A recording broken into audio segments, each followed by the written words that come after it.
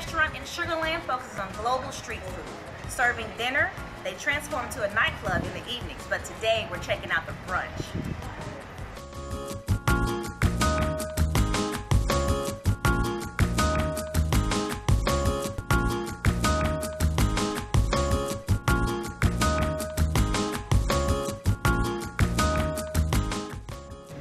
I recommend two dishes when you come to Blu for brunch.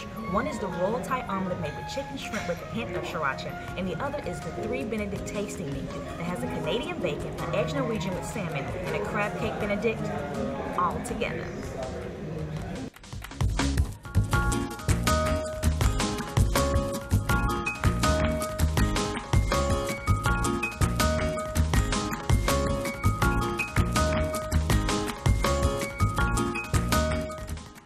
If you come for brunch, you can choose one of four cocktails complimentary with your meal.